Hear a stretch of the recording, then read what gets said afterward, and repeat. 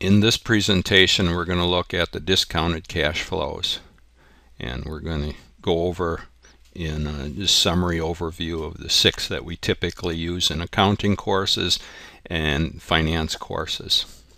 And let's look, um, look at them on the next slide. But first I want to note that um, we have to be given the interest rate and the number of periods that we're looking at here. Then we can calculate these different cash flows.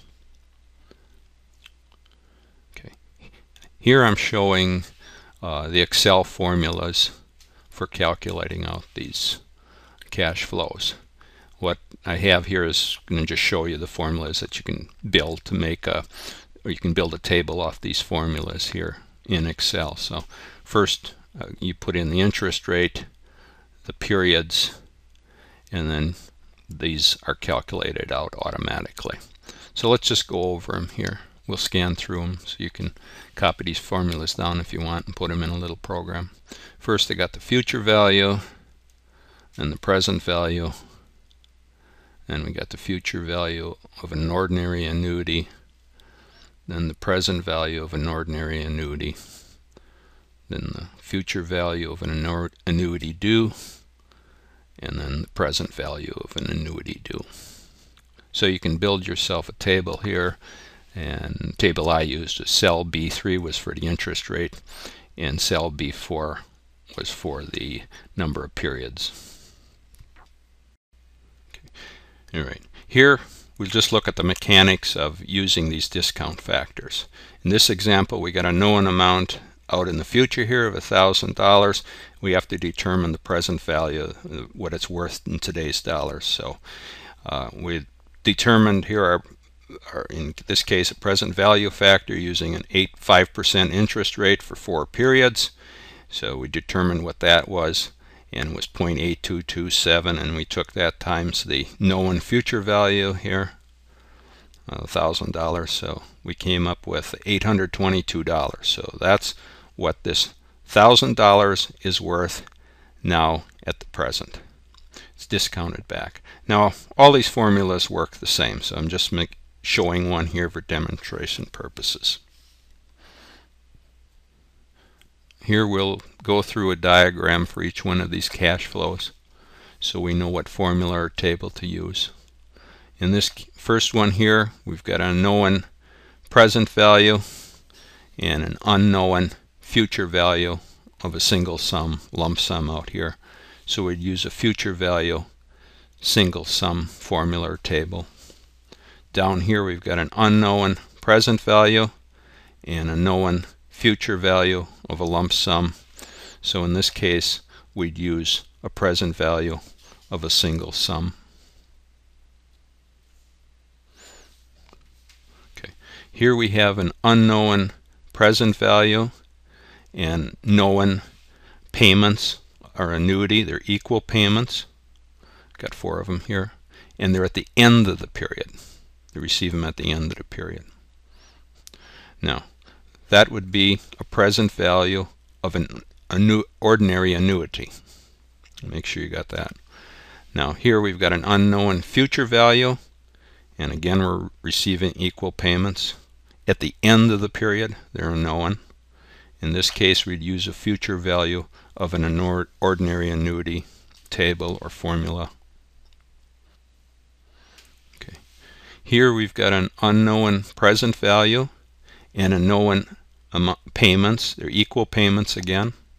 You got four of them here. But they're at the beginning of the period. We received the payments at the be beginning of the period and they're known. In this case, we'd use a present value annuity due. So get that, understand that. We use an annuity due when the payments are at the beginning of the period. And then here in the last one, we've got an unknown future value and known payments at the beginning of the period again, or known beginning of the period.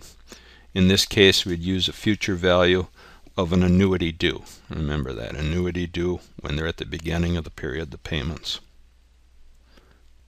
Okay, so we finished just an overview of the six basic ca cash flows that we use. So we'll move on here just to look how they can be um, tied together so we can figure out some uneven cash flows.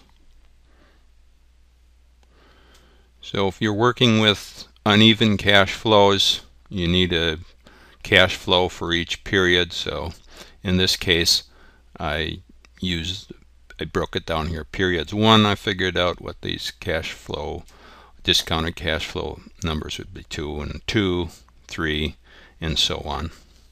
So you really have to either put in your calculator and or use a little Excel program or a table and you have to look at each one individually individually as you'll see next.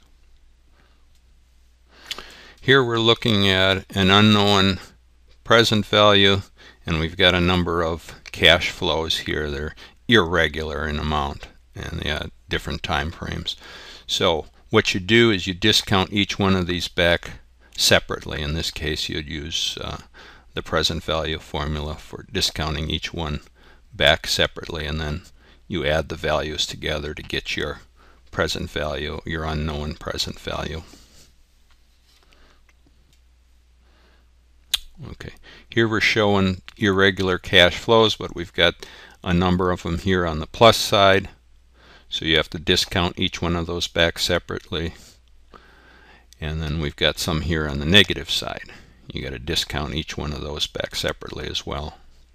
Then you'll get uh, the discount value here for the, pre the present value of the plus ones and then the present value of the minus ones. So you add them together or subtract the minus from the plus here and then you'll get a known present value. Summary of, or the sum value of these present values would be your known present value.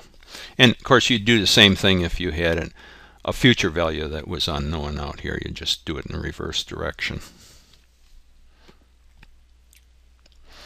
Here we've got an unknown present value, and but we have a known. Well, in this case, it's an ordinary annuity. We have separate payments here. So we just use the ordinary annuity table or in case it was annuity due, you'd use the annuity due table and discount it back here to present value. And then we've got one uh, future value here that we know. We'd present, um, discount that back uh, separately, and then you just lump those values together here, and you get your known amount.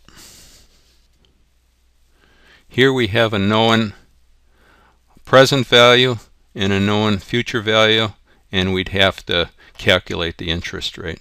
So either you, you use a calculator or an Excel program or something on that, some device like that to calculate that.